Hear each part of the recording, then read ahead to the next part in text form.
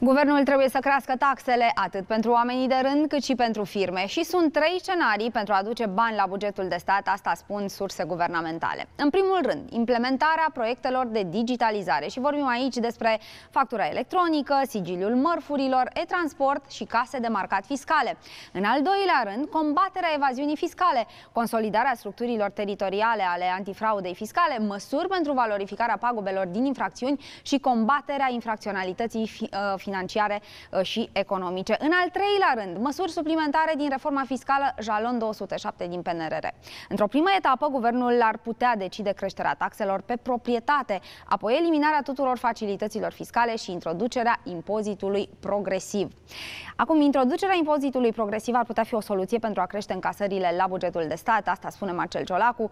Tot el este însă cel care a promis că nu va introduce taxe noi anul viitor, adică în 2024. PNL a amenințat amenințat că va rupe coaliția chiar dacă fiscalitatea va crește, așadar dacă apar noi taxe vom vedea ce se va întâmpla.